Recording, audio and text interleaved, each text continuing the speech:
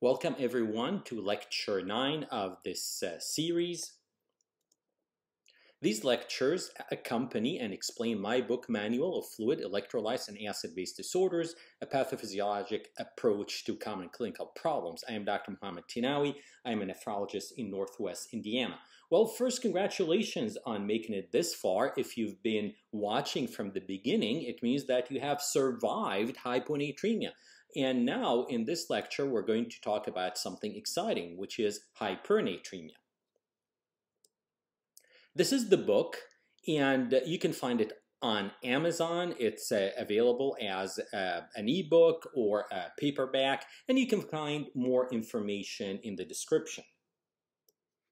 We are still on chapter one of the book, Disorders of Water Balance, Hyponatremia and Hypernatremia and this lecture is Hypernatremia Part 1. Introduction Hypernatremia is seen in patients who do not have ready access to water. People with ready access to water, they're not going to get hypernatremic. Why? Because they are going to drink. So when are we going to see hypernatremia? We're going to see it in infants because obviously they cannot get up and go to the refrigerator and get themselves a glass of water. People who are incapacitated, especially when their thirst mechanism is not intact, this is what we call hypodipsia. People on parenteral nutrition, this is very common in the hospital because uh, sometimes you're not giving them enough water with the parenteral nutrition. People on loop diuretics, this is also very common. Sometimes the patient stops drinking water, but uh, the patient continues to take their loop diuretics and end up with hypernatremia. Patients in the ICU, again, they cannot get up and drink water. Hypernatremia is indicative of a severe illness with multiple comorbidities. So hypernatremia is more than just an elevated sodium. It means that the person is probably incapacitated, that the person has a thirst mechanism that is not intact, that they cannot get up and drink and do other things. So it means that we really have a sick patient. Now, thirst is important. Thirst resulting from hypernatremia or hyperosmolality in, in general is a very powerful force. If I give someone with free access to water 3% saline and artificially raise that person's sodium, they're going to go and drink. And this is a very powerful drive. So this prevents hypernatremia in people who are community dwelling with access to water.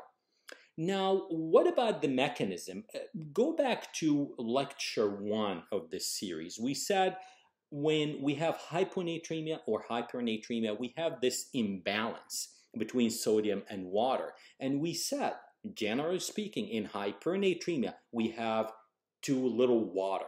However, sometimes you can have too much sodium, but usually it's a decrease in water.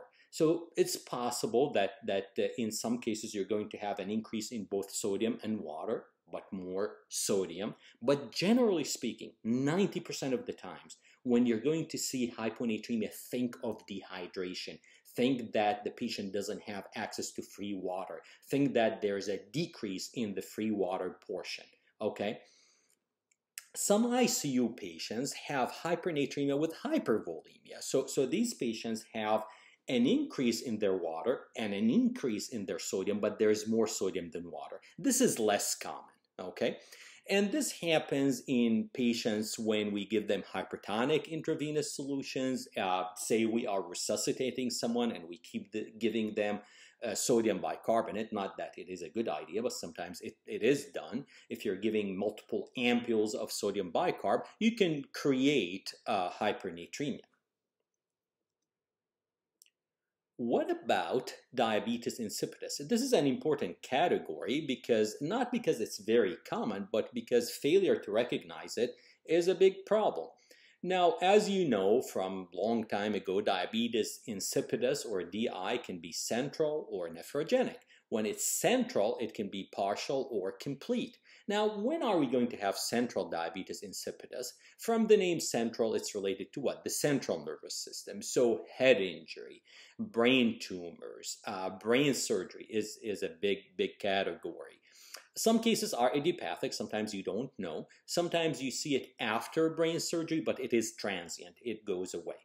Few cases, 10% of cases, this is not common, are hereditary and it can be autosomal dominant or recessive. And anything hereditary you're going to see in children. Now, nephrogenic DI, nephrogenic diabetes insipidus, is more common than central diabetes insipidus. And this is uh, the result of impaired response to vasopressin or ADH by the renal tubules. So the collecting tubule does not respond to ADH, and therefore you're going to have what? Water diuresis. So you're going to have nephrogenic diabetes insipidus. So there is vasopressin. The pituitary, the posterior pituitary, is making vasopressin or ADH, but the kidneys, the collecting tubules, are not responding. When do you see that? Now, this is important. Um, these three, four causes, please remember them. Hypokalemia, so low potassium, hypercalcemia, high calcium, sickle cell disease, and renal amyloidosis. Of the medications, the most important by far is lithium. So these patients many times uh, come in, say, with hypercalcemia, and they start to have DI, and they come in with what? Dehydration, and then their BUN creatinine go up, so now they're in acute kidney injury. Uh, there are also cases of hereditary nephrogenic DI, DI, like we said, there are also central DI cases that are hereditary, but this is rare. Now let's look uh, in more details about the causes of hypernatremia. We said 90% of the time is going to be due to dehydration, water loss. So high sodium is due to little water. Go back to chapter one and look at, uh, at the slide with the three glasses of, of water. Now, when do we see dehydration? Well, as you know, you can see that with osmotic diarrhea, when you lose more water than solutes. Very commonly, you see dehydration from loop diuretics, furosemide, bumetanide, torsemide, especially when, when the patient is dehydrated, someone has diarrhea, they take furosemide for edema or congestive heart failure, and they continue to take their medication, but they stop drinking water. Now, patients with central or nephrogenic DI normally they have a serum sodium at the upper range of normal, maybe 144, 145, 146. But if their access to water is cut off, this is when you're going to see full-blown diabetes insipidus, and this is when you're going to see hypernatremia. So someone with, say, central DI or nephrogenic DI, maybe they're making three, four liters of, of urine, and they're used to drinking that much. So they're compensating. Now they're admitted to the hospital to have surgery done and they're put NPO, they have no access to water, and then you're going to get hypernatremia. So pay attention to that. Medications can do it. Uh, the top of the list, list by far is lithium, but other medications can uh, can do it. Amphotericin B, ofloxacin, if, uh, uh foscarnet, clonazepine, uh, cidofovir, um, orlistat, this is the medicine used for uh, obesity. Demeclocycline, we said in the past they used this for treatment of SIADH, and again, it should not be used. Now, osmotic diuresis, like osmotic diarrhea, can cause hypernatremia, like when you have patients with hyperglycemia and they start urinating a lot, um, or uh, mannitol. Mannitol nowadays is used less often hypothalamic lesions that affect thirst, so the patient doesn't feel thirst, this is very rare. Um, so th this should not be on the top of your differential diagnosis uh, list. It should be way, way in the bottom. Um, Enteral feeding is very common, especially if free, free water administration is deficient. So whenever you start patient on enteral feeding, start some free water. Maybe start 100 ml every four to six hours and go from there. Check serum sodium daily, check a basic metabolic panel daily, and adjust how much free water uh, you want to give. Can you have hypernatremia from too much sodium? Yes, but it's less common. Usually, again, it's too little water. You can have it due to sodium gain, like I said, if you are giving hypertonic intravenous solutions, sodium bicarbonate, 3% saline, especially to infants or people in the intensive care unit. Acute salt poisoning, believe it or not, that sometimes can happen due to suicide attempt or it could be accidental. And if you're giving a hypertonic feeding solutions without giving enough water, you can see it. Another category that is important, and you see that a lot, uh, people come in with congestive heart failure and you're aggressively diuresing them with the furosemide, and then they start to have hypernatremia, but they're still fluid overloaded. Meaning in this case, we have excess water and excess sodium, but now we have more sodium than water. So what do we do? Do we stop the diuretics, which cause the hypernatremia? No, because they're still fluid overloaded. So you continue the loop diuretic, and then you can give D5W. You could also give a thiazide diuretic, so you lose some sodium. And uh, in, in two, three days, usually things will balance out. What are the manifestations of hypernatremia? Well, the symptoms of any electrolyte disturbance, they're kind of similar and non-specific. You cannot say, well, the patient has malaise, fatigue, weakness, and agitation, so the patient must have hypernatremia. No, this is common to almost any electrolyte disturbance. Symptoms can again progress to seizures, metabolic encephalopathy, and coma. Once you reach a serum sodium of 180, the mortality is high, even if you correct it properly. Why? Because it means the person is really sick. It means that you have so many comorbid conditions. Again, to reiterate, severe hypernatremia is associated with significant comorbidities. How do we correct hypernatremia? Now, when we want to correct hypernatremia, we have to estimate, we have to to determine the total amount of free water needed to correct hypernatremia. So we have three components. Insensible water loss, which is about 0.8 liter per day, but it could be more if someone is on a ventilator, for example, if someone has a tracheostomy, etc we add that to electrolyte free water clearance okay and please see hyponatremia part 5 uh, that uh, lecture uh, preferably part 4 and 5 and I'm going to put a link in the description to those lectures. If you don't know what electrolyte free water clearance is please see that. But basically to calculate it we need to know urine sodium urine potassium and plasma sodium and urine volume, and then you use the equation you see on the screen easily to calculate electrolyte-free water clearance. So in essence, we're calculating how much free water exists in the urine. So we're adding insensible water loss plus how much the patient is putting out in terms of free water, and then we're adding the free water deficit, how much the patient has lost already.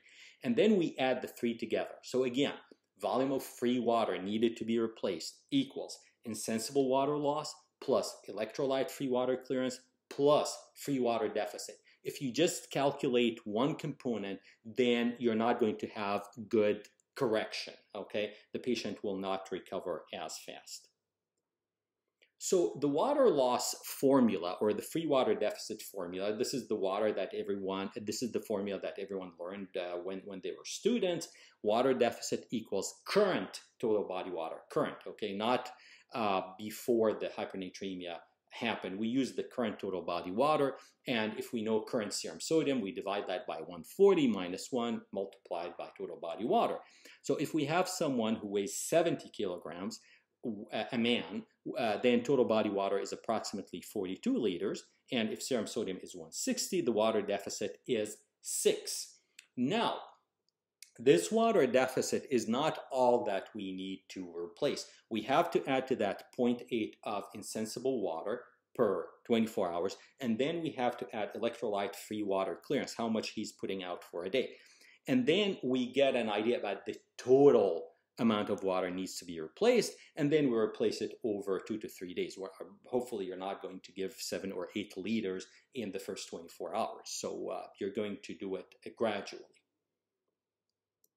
Now, finally, let's look at the equation differently. Now, what, what I did here, I rearranged this equation, okay? Uh, uh, so with a little bit of algebra we can determine how much water we need to reach a desired serum sodium. Because the six liter I told you about is how much the total, how, how much free water deficit we have. But this is not just the information you need. What if you have a serum sodium of one, uh, of say 150 and you want to decrease it to 140? How much water do you need? So this, this equation that I came up with may be useful. So we here also we take current total body water, but we determine how much the current sodium is and the desired sodium is.